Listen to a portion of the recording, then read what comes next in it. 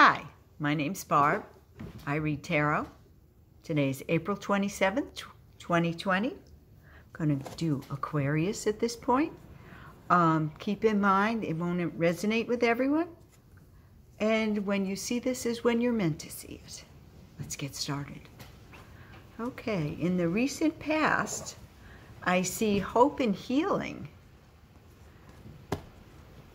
And you were coping by celebrating, which seems like a reasonable thing to do.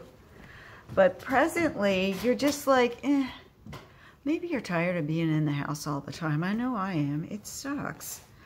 Um, in the immediate future, you are going to be on the move. You're ready to go? Boom. And the outcome is rewards for hard work. So, yay.